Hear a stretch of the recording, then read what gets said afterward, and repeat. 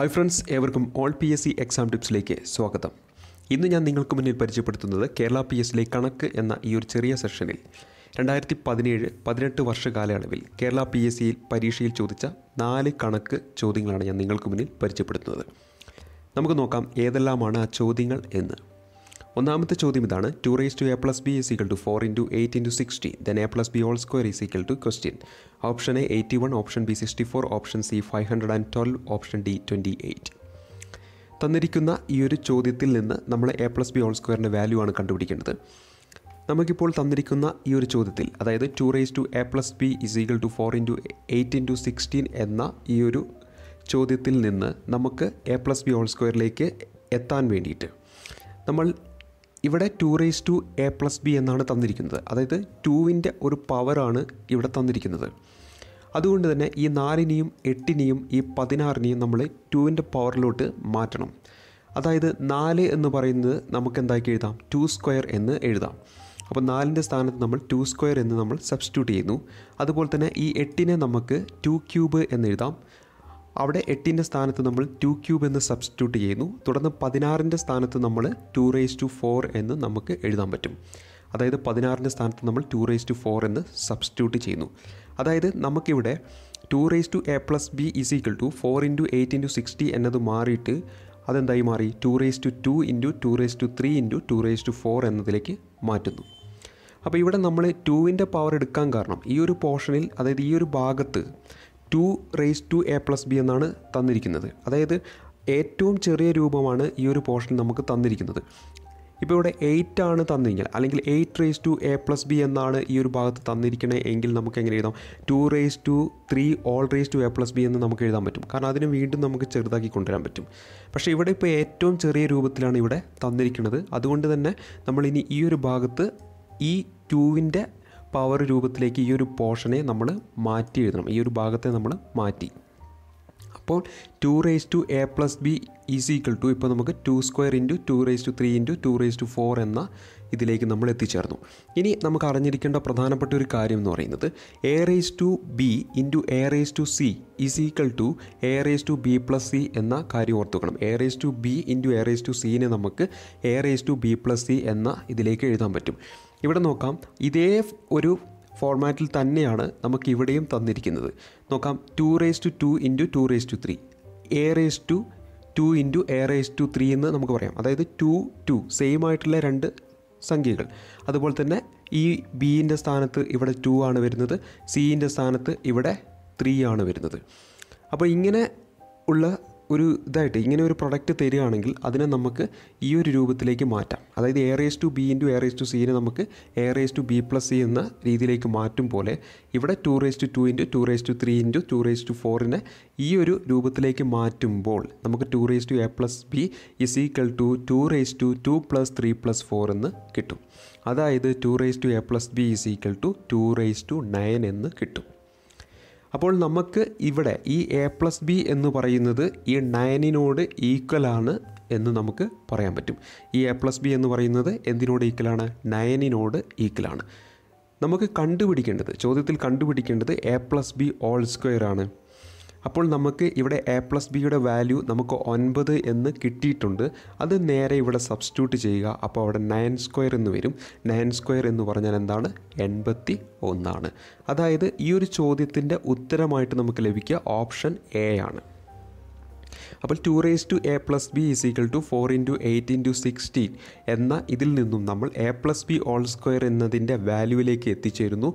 Value നമുക്ക് എൺപത്തി ഒന്ന് എന്ന് കിട്ടുന്നു. അതായത് ഓപ്ഷൻ എ ആണ് ഈ ചോദ്യത്തിന്റെ ഉത്തരമായിട്ട് വരിക.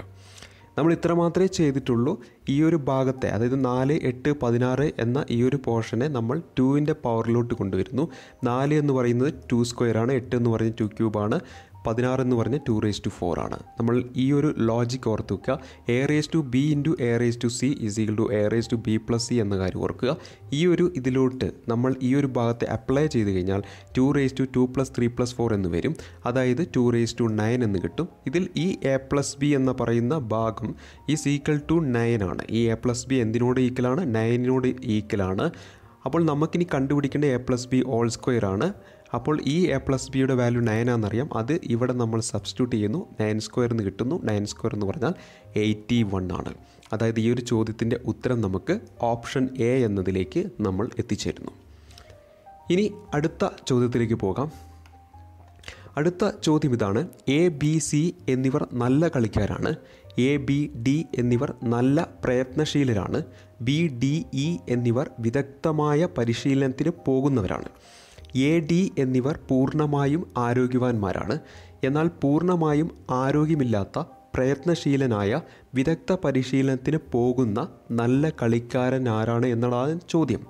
Option A C option B E option C B option D D.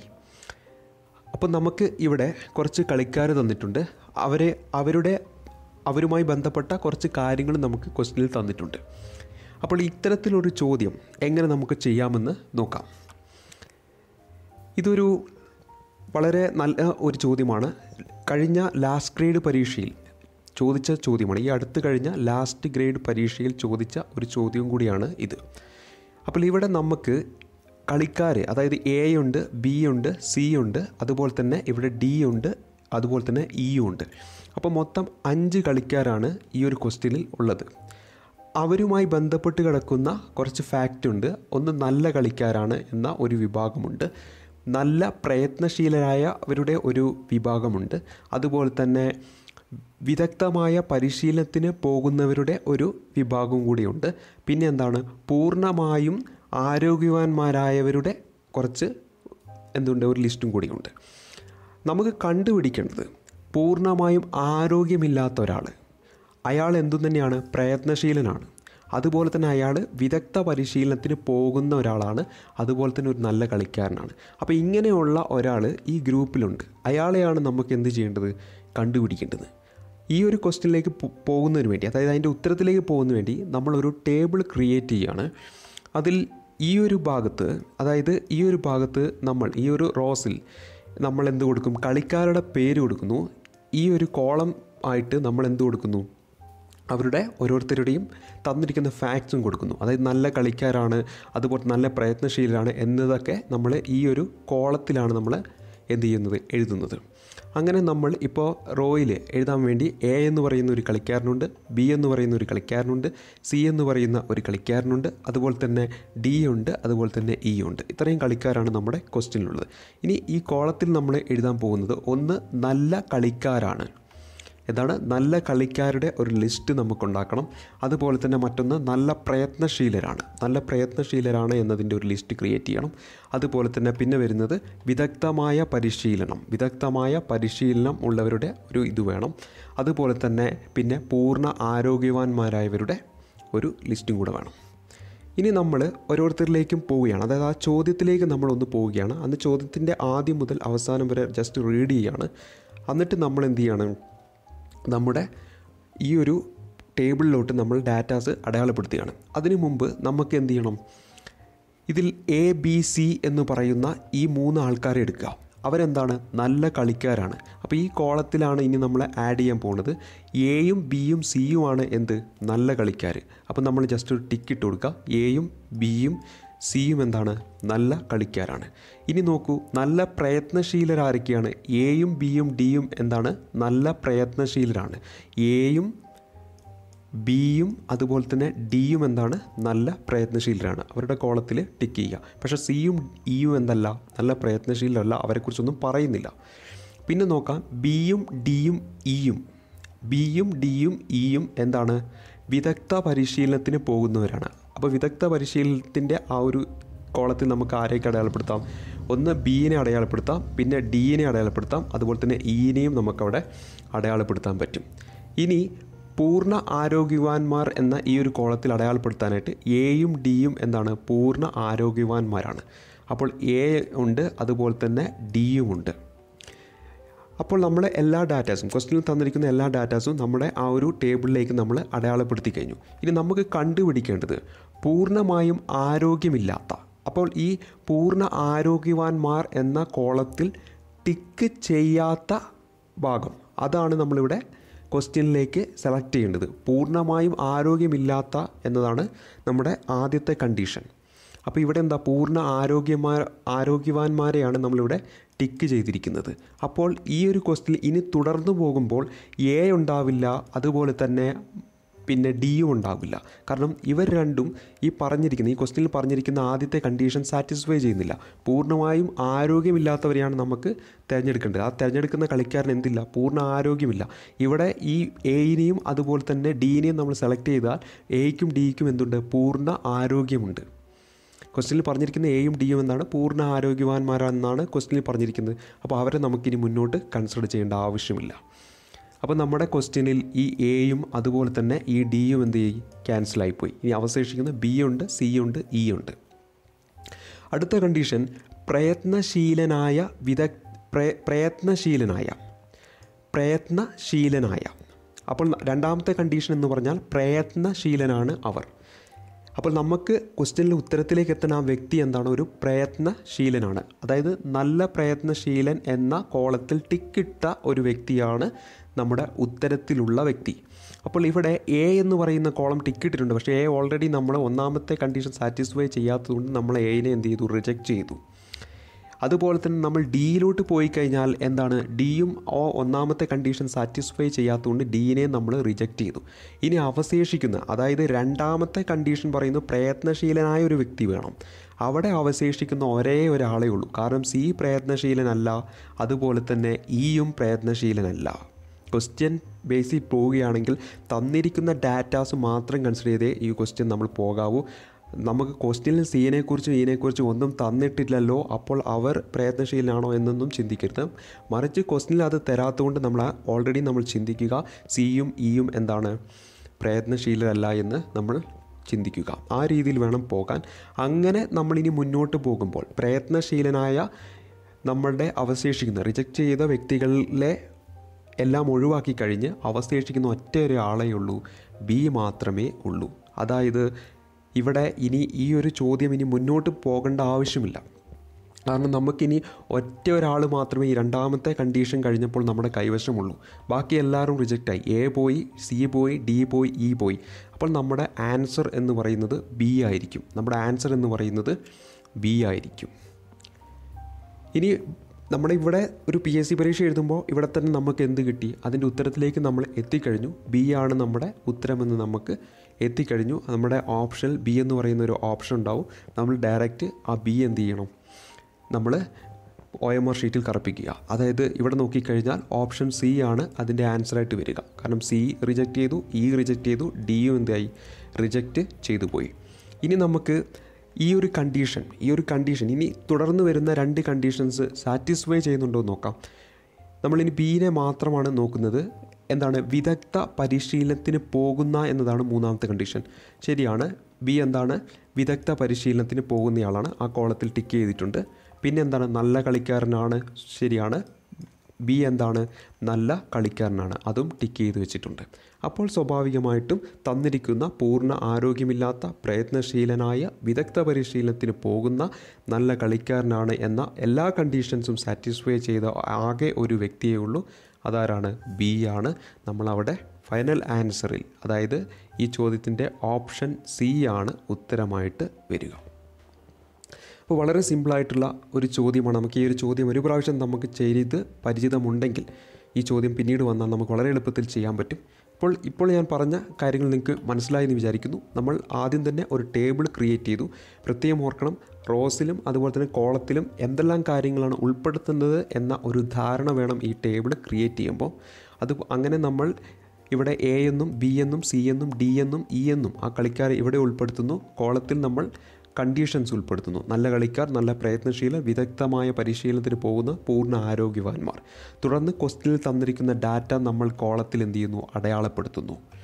ഇവിടെ നമ്മൾ ഇനി നമ്മൾ കണ്ടുപിടിക്കേണ്ട ആ കണ്ടീഷനിലേക്ക് പോകുന്നു. ഒന്നാമത്തെ കണ്ടീഷൻ പൂർണമായ ആരോഗ്യമില്ലാത്തയാൾ. അപ്പോൾ നമുക്ക് ഇവിടെ എന്ത് ചെയ്യുന്നു? എയും എന്ന് പറയുന്നതും അതുപോലെ തന്നെ സി എന്ന് പറയുന്നതും എന്ത് ചെയ്തു? റിജക്റ്റ് ചെയ്തു. കാരണം അവർ ആരോഗ്യമുള്ളവരാണ്. തുടർന്ന് നമുക്ക് അവശേഷിച്ചത് ബിയും അതുപോലെ തന്നെ സിയും അതുപോലെ തന്നെ ഇയുമാണ് രണ്ടാമത്തെ കണ്ടീഷനിലേക്ക് എത്തുമ്പോൾ നമ്മുടെ കൈവശമുള്ളവർ. രണ്ടാമത്തെ കണ്ടീഷനിൽ പറയുന്ന പ്രയത്നശീലരാണ് എന്നതാണ്. ഈ ഉത്തരത്തിലേക്ക് എത്തേണ്ട ആ വ്യക്തി പ്രയത്നശീലരാണ് എന്നതാണ്. നമ്മളിവിടെ പോകുമ്പോൾ നമ്മുടെ ഇനി ബാക്കിയുള്ള വ്യക്തികളായ സിയും ഇയും എന്തല്ല? പ്രയത്നശീലരല്ല. ബി മാത്രമേ നമ്മുടെ ഇനി ബാക്കിയുള്ള ലിസ്റ്റിൽ പ്രയത്നശീലനായിട്ടുള്ളൂ.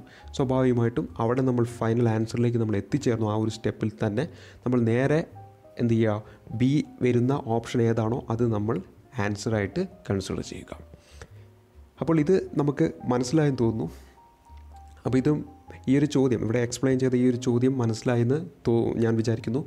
അതുപോലെ തന്നെ ഈ ഒരു ചോദ്യം ഒരു പ്രാവശ്യം ചെയ്തു കഴിഞ്ഞാൽ നമുക്ക് വളരെ എളുപ്പത്തിൽ തന്നെ ഇനിയും ഇതുപോലത്തെ ചോദ്യങ്ങൾ വരികയാണെങ്കിൽ നിങ്ങൾക്ക് വളരെ എളുപ്പത്തിൽ ചെയ്യാം. ഇവിടെ പ്രത്യേകം ഓർക്കേണ്ടത് എങ്ങനെ നമ്മൾ ഈ ഒരു ടേബിൾ ക്രിയേറ്റ് ചെയ്യുമ്പോൾ അതിൽ ആഡ് ചെയ്യുന്ന കാര്യങ്ങൾ കൃത്യമായിട്ടൊരു ധാരണ ഉണ്ടായാൽ വളരെ എളുപ്പത്തിൽ ഇതിന്റെ ഉത്തരത്തിലേക്ക് നമ്മൾ എത്തിച്ചേരുകയും ചെയ്യും. ഇനി അടുത്ത ചോദ്യത്തിലേക്ക് പോകാം. അടുത്ത ചോദ്യം ഇതാണ്. എ ജനിച്ചപ്പോൾ അവന്റെ അച്ഛന് മുപ്പത്തിരണ്ട് വയസ്സും അമ്മയ്ക്ക് ഇരുപത്തെട്ട് വയസ്സുമാണ്. എയുടെ അമ്മയാണ് ബി. ബി ബിക്ക് എയേക്കാൾ അഞ്ച് വയസ്സ് കൂടുതലുണ്ട്. ഇവരുടെ സഹോദരിയാണ് സി. സിക്ക് ബി എക്കാൾ മൂന്ന് വയസ്സ് കൂടുതലുമാണ്. മറ്റൊരു സഹോദരിയാണ് ഡി. ഡിക്ക് സിയേക്കാൾ രണ്ട് വയസ്സ് കുറവാണ്. ഏഴ് വർഷം കഴിഞ്ഞാൽ ഡിക്ക് അമ്മയേക്കാൾ എത്ര വയസ്സ് കുറവാണ് എന്നതാണ് ചോദ്യം. ഓപ്ഷൻ എ ഇരുപത്തിരണ്ട് ഓപ്ഷൻ ബി ഇരുപത് ഓപ്ഷൻ സി പതിനെട്ട് ഓപ്ഷൻ ഡി ഇരുപത്തി ഒൻപത്. അപ്പോൾ ഈ ഒരു ചോദ്യം എങ്ങനെയാണ് ചെയ്യാൻ നോക്കാം? ഇത്തരത്തിലുള്ള ചോദ്യങ്ങളൊക്കെ നമുക്ക് ലഭിക്കുമ്പോൾ നമ്മൾ ആ ക്വസ്റ്റ്യൻ എങ്ങനെയാണോ വായിക്കുന്നത് ആ രീതിയിൽ തന്നെ മുന്നോട്ട് പോവുകയാണ് ഈ ഒരു ചോദ്യങ്ങൾ നമുക്ക് ചെയ്യാൻ വേണ്ടി ചെയ്യേണ്ടത്.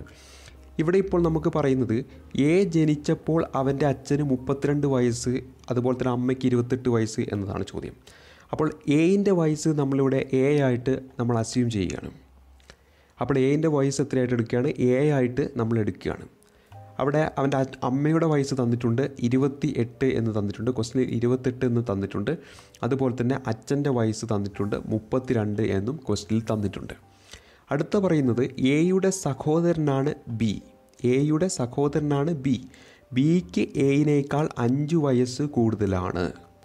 അപ്പോൾ ഇവിടെ നിന്നും നമുക്ക് എന്ത് കിട്ടി? ബിയിന്റെ പ്രായം കിട്ടി. എയിന്റെ പ്രായം എ ആയിട്ട് നമ്മൾ ഇവിടെ കൺസിഡർ ചെയ്തു. അപ്പോൾ ബിക്ക് എയിനേക്കാൾ അഞ്ച് വയസ്സ് കൂടുതലാണെന്ന് പറയുമ്പോൾ ബിയിന്റെ പ്രായം എന്താണ്? എ പ്ലസ് ഫൈവ് ആണ്.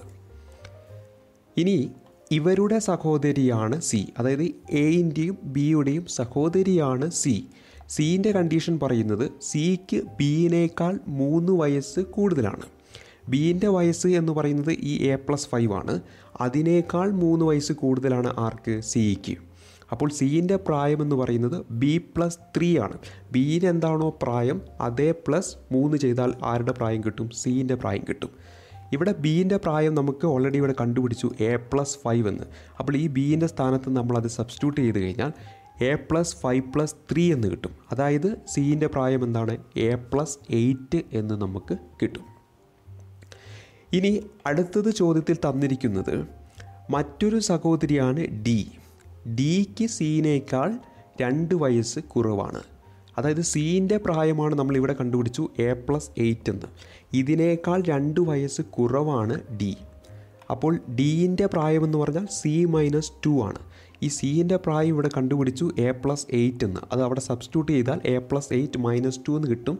അതായത് ഡീന്റെ പ്രായം എ പ്ലസ് സിക്സ് എന്ന് കിട്ടും. അപ്പോൾ നമുക്ക് ഇത്രയും ചെയ്തു കഴിയുമ്പോൾ അതായത് നമുക്ക് കണ്ടുപിടിക്കേണ്ടത് എന്താണ്? ഡിക്ക് അമ്മയേക്കാൾ എത്ര വയസ്സ് കുറവാണ് എന്നതാണ് നമുക്ക് കണ്ടുപിടിക്കേണ്ടത്. ഇവിടെ നമുക്ക് അമ്മയുടെ പ്രായം തന്നിട്ടുണ്ട് ഇരുപത്തിയെട്ട് എന്ന്. അപ്പോൾ നമുക്ക് കണ്ടുപിടിക്കുന്നത് ഡിക്ക് അമ്മയേക്കാൾ എത്ര വയസ്സ് കുറവാണ് എന്നതാണ് നമുക്ക് കണ്ടുപിടിക്കേണ്ടത്. അപ്പോൾ ഈ ഇരുപത്തിയെട്ട് വയസ്സുള്ള സമയത്താണ് എ ജനിക്കുന്നത്. അപ്പോൾ എന്റെ പ്രായം നമുക്ക് എന്തായിട്ട് എടുക്കാം? അവിടേക്ക് പ്രായമൊന്നും തന്നെ. എ ജനിച്ച സമയമാണ് പൂജ്യമായിട്ട് തന്നെ എടുക്കാം. ആ സമയത്ത് ഡിയുടെ പ്രായമെന്ന് പറഞ്ഞാൽ എക്ക് അപ്പോഴെന്താണോ പ്രായം. ആ ജനിച്ച സമയത്ത് എക്ക് പ്രായമൊന്നും തന്നെ ഇല്ല പൂജ്യമായിട്ട് എടുത്തു. അപ്പോൾ ഡിയുടെ പ്രായമെന്ന് പറയുന്നത് എത്രയായിരിക്കും? ആറായിരിക്കും. അപ്പോൾ ഡിയുടെ പ്രായം എത്രയാണ്? ആറ് എന്ന് കിട്ടും. അപ്പോൾ എ ജനിക്കുമ്പോൾ അമ്മയുടെ വയസ്സ് ഇരുപത്തെട്ടാണ്. ആ സമയത്ത് ഡിയുടെ പ്രായം എന്ന് പറയുന്നത് എത്രയെന്ന് കിട്ടും? ആറ് എന്നും കിട്ടും. എന്തുകൊണ്ടാണ്? എയിനേക്കാൾ ആറ് വയസ്സ് കൂടുതലാണ് ഡിക്ക് എ ജനിക്കുമ്പോൾ എക്ക് പ്രായമൊന്നുമില്ല. പൂജ്യമായിട്ട് എടുക്കാം. അപ്പോൾ ആ സമയത്ത് ഡി ജനിച്ചിട്ടുണ്ട്. ഡി ജനിച്ചിട്ട് ആറ് വർഷമായി ആ സമയത്ത്. അപ്പോൾ ഡിയുടെ പ്രായം ആറ് വയസ്സാണ്. ഇനി ഒരു കാര്യം പറയാം. എത്ര വർഷം കഴിഞ്ഞാലും പ്രായത്തിലുള്ള ഡിഫറൻസ് ഇപ്പോൾ ഈ ഡി ജനിക്കുമ്പോൾ ഡിയുടെ സോറി എ ജനിക്കുമ്പോൾ ഡിയുടെ പ്രായം ആറാണ് അമ്മയുടെ പ്രായം ഇരുപത്തെട്ടാണ്. എത്ര വർഷം കഴിഞ്ഞാലും ഈ ഡിഫറൻസ് ഈ ഇരുപത്തെട്ടും ആറും തമ്മിലുള്ള ഡിഫറൻസ് മാറില്ല. എത്ര വർഷം കഴിഞ്ഞാലും അവരുടെ പ്രായങ്ങൾ തമ്മിലുള്ള ഡിഫറൻസ് സെയിം ആയിരിക്കും. അത് പ്രത്യേകം ഓർക്കുക. എത്ര വർഷം കഴിഞ്ഞാലും പ്രായങ്ങൾ തമ്മിലുള്ള ഡിഫറൻസ് മാറത്തില്ല. അപ്പോൾ ഇവരുടെ പ്രായങ്ങൾ തമ്മിലുള്ള ഡിഫറൻസ് അതായത് ഡീന്റെയും അമ്മയുടെയും വയസ്സുകൾ തമ്മിലുള്ള ആ ഡിഫറൻസ് എന്ന് പറയുന്നത് ട്വന്റി എയ്റ്റ് മൈനസ് സിക്സ് ചെയ്താൽ കിട്ടുന്ന ഈ ട്വന്റി ടു എന്നതാണ്. അതായത് നമ്മുടെ ഈ ഒരു ചോദ്യത്തിന്റെ ഫൈനൽ ആൻസർ എന്ന് പറയുന്നത് ഓപ്ഷൻ എ ആണ്. ട്വന്റി ടു എന്ന ആ ഒരു ഉത്തരം വരുന്നത് ഓപ്ഷൻ എയിലാണ് അപ്പോൾ ഡിയുടെ പ്രായവും അമ്മയുടെ പ്രായവും തമ്മിലുള്ള വ്യത്യാസം എന്ന് പറയുന്നത് ഇരുപത്തി രണ്ടാണ് ഈ ഒരു ക്വസ്റ്റ്യൻ മൊത്തത്തിൽ നമുക്ക് നോക്കിക്കഴിഞ്ഞാൽ അച്ഛന്റെ വയസ്സുകൊണ്ട് യാതൊരുവിധ പ്രയോജനവും ഈ ക്വസ്റ്റ്യനിൽ ഇല്ല എന്നതും പ്രത്യേകം നമ്മൾ ഓർക്കണം. അപ്പോൾ ഈ ഒരു ക്വസ്റ്റ്യൻ നമ്മൾ ചെയ്യേണ്ടത് ആ ക്വസ്റ്റ്യൻ എങ്ങനെയാണോ വായിക്കുന്നത് അതേ രീതിയിൽ തന്നെ നമ്മൾ എന്ത് ചെയ്യുക ഡാറ്റാസ് അടയാളപ്പെടുത്തി വരിക. അതായത് അതേ രീതിയിൽ തന്നെ നമ്മൾ ചെയ്തു വരിക. അങ്ങനെ ഫൈനൽ ആൻസർ നമ്മൾ ഡീന്റെ പ്രായം എത്ര എന്നതിലേക്ക് എത്തിച്ചേരുന്നു. അതിനുശേഷം അമ്മയുടെ പ്രായവും ഡീന്റെ പ്രായവും തമ്മിലുള്ള വ്യത്യാസം ഇരുപത്തിരണ്ട് എന്നതിലേക്ക് നമ്മൾ എത്തിച്ചേർന്നു. അപ്പോൾ നമ്മൾ ഇത്രമാത്രമാണ് ഇവിടെ ചെയ്യുന്നത്. എയിന്റെ വയസ്സ് എ എന്ന് നമ്മൾ ആദ്യം നമ്മൾ അസ്യൂം ചെയ്യുന്നു. അമ്മയുടെ പ്രായം ഇരുപത്തെട്ട് എന്ന് എ ജനിച്ച സമയത്ത് അമ്മയുടെ പ്രായം ഇരുപത്തിയെട്ട് എന്ന് തന്നിട്ടുണ്ട്. അച്ഛന്റെ പ്രായം മുപ്പത്തിരണ്ട് എന്ന് തന്നിട്ടുണ്ട്. ഇതിൽ ക്വസ്റ്റ്യനിൽ എവിടെയും ഈ പ്രാ ഈ ഒരു പ്രായത്തിന്റെ ആവശ്യം വരുന്നില്ല. അതുപോലെ തന്നെ ബീന്റെ പ്രായം എന്ന് പറയുന്നത് എയിനേക്കാൾ അഞ്ച് കൂടുതലാണെന്ന് പറയുന്നു. അങ്ങനെയാകുമ്പോൾ ബീന്റെ പ്രായം എ പ്ലസ് ഫൈവ് ആണ്. അപ്പോൾ സിയിന്റെ പ്രായം ബിയിനേക്കാൾ മൂന്ന് കൂടുതലാണെന്ന് പറയുന്നു. ഓൾറെഡി ഇവിടെ ബിയിന്റെ പ്രായം എ പ്ലസ് ഫൈവ് എന്നുണ്ട്. അത് നമ്മൾ ഇവിടെ സബ്സ്റ്റിറ്റ്യൂട്ട് ചെയ്ത് A plus five plus three എന്ന് കിട്ടി. അതിനുശേഷം നമ്മൾ എ പ്ലസ് എയ്റ്റ് അതായത് സീന്റെ പ്രായം എ പ്ലസ് എയ്റ്റ് എന്ന് കിട്ടി. ഇനി ഡീന്റെ പ്രായം എന്ന് പറയുന്നത് സീനേക്കാൾ രണ്ട് വയസ്സ് കുറവാണെന്ന് നമുക്ക് ക്വസ്റ്റിനിൽ തരുന്നു. അങ്ങനെ നമ്മൾ ഈ സീന്റെ സ്ഥാനത്ത് എ പ്ലസ് എയ്റ്റ് എന്നത് സബ്സ്റ്റിറ്റ്യൂട്ട് ചെയ്യുന്നു. അങ്ങനെ A plus eight minus two എന്നതിൽ എത്തിച്ചേരുന്നു. അവിടെ നിന്നും എ പ്ലസ് സിക്സ് എന്നതിലേക്ക് എത്തിച്ചേരുന്നു. അപ്പോൾ ഡീന്റെ പ്രായം എ പ്ലസ് സിക്സ് ആണ്. ഇവിടെ നിന്നും തന്നെ നമ്മൾ ഒരു കാര്യത്തിലേക്ക് എത്തുന്നു. അതായത് എ ജനിക്കുന്ന സമയത്ത് ഡീന്റെ പ്രായം എത്രയാണ്? ആറാണ്. അമ്മയുടെ പ്രായം ഇരുപത്തെട്ടാണ്. ഈ തമ്മിലുള്ള ഡിഫറൻസ് ഒരു ഒരിക്കലും മാറത്തില്ല. അപ്പോഴെന്താണോ ഡിഫറൻസ് ആ ഡിഫറൻസ് തന്നെയായിരിക്കും ജീവിതകാലം അത്രയും. അപ്പോൾ ഇരുപത്തെട്ട് മൈനസ് സിക്സ് ചെയ്താൽ കിട്ടുന്ന ഇരുപത്തിരണ്ടാണ് അമ്മയുടെയും ഡീന്റെയും പ്രായങ്ങൾ തമ്മിലുള്ള ഡിഫറൻസ് അതായത് നമ്മൾ ഫൈനൽ ആൻസർ ഇരുപത്തിരണ്ട് എന്നതിലെത്തി. അതായത് ഓപ്ഷൻ എ ആണ് നമ്മുടെ ഉത്തരമായിട്ട് വരിക. ഈ വീഡിയോ നിങ്ങൾക്ക് ഇഷ്ടപ്പെട്ടിട്ടുണ്ടെങ്കിൽ ഈ ഒരു വീഡിയോ ലൈക്ക് ചെയ്യുക. അതുപോലെ തന്നെ നിങ്ങളുടെ കൂട്ടുകാർക്ക് വേണ്ടി ഷെയർ ചെയ്യുക. അതുപോലെ തന്നെ കൂടുതൽ കൂടുതൽ വീഡിയോസുകൾ നിങ്ങൾക്ക് മുന്നിൽ എത്തുന്നതിന് വേണ്ടി ഞങ്ങളുടെ ഈ ഒരു ചെറിയ യൂട്യൂബ് ചാനൽ സബ്സ്ക്രൈബ് ചെയ്യുക. അതിനുശേഷം ലഭ്യമാകുന്ന ബെല്ലൈക്കൺ അമർത്തിയാൽ ഞങ്ങൾ എപ്പോഴെല്ലാമാണോ പുതിയ വീഡിയോസുകൾ അപ്ലോഡ് ചെയ്യുന്നത് അതേ സമയത്ത് തന്നെ നിങ്ങൾക്കതൊരു നോട്ടിഫിക്കേഷനായിട്ട് ലഭ്യമാക്കുകയും ചെയ്യും. അപ്പോൾ നിങ്ങളുടെ കൂടുതൽ സപ്പോർട്ടും കൂടുതൽ അഭിപ്രായങ്ങളും ഞങ്ങൾ പ്രതീക്ഷിക്കുന്നു. ഇത്രയും നേരം ഈ ഒരു ചെറിയ വീഡിയോ ക്ലിപ്പ് നിങ്ങൾക്ക് മനസ്സിലായെന്ന് വിചാരിക്കുന്നു. കൂടുതൽ വീഡിയോ ക്ലിപ്പുകളുമായിട്ട് നമുക്ക് വീണ്ടും കണ്ടുമുട്ടാം. അതുവരേക്കും താങ്ക്